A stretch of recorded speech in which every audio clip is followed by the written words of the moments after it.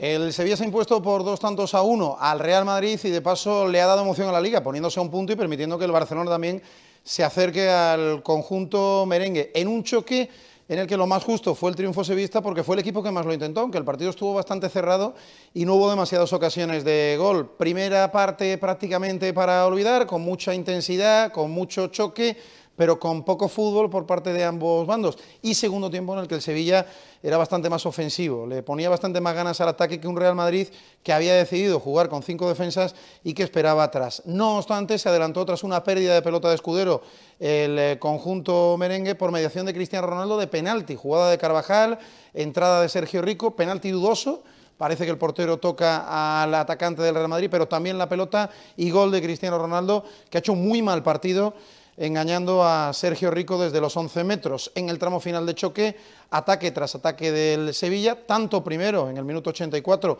de Sergio Ramos en propia puerta, el karma para el futbolista de Camas en la semana en la que más eh, se había hablado de él, y gol también del Sevilla en el minuto 91 y medio tras una contra, robo de pelota en la banda izquierda, balón para Jovetic y fallo de Keylor Navas que no está bien eh, colocado con gol del montenegrino. Lo dicho, 2 a 1, triunfo del Sevilla, que oposita a la Liga, que aprieta la pelea por el campeonato y que acaba de paso con el récord de victorias de Zinedine Zidane.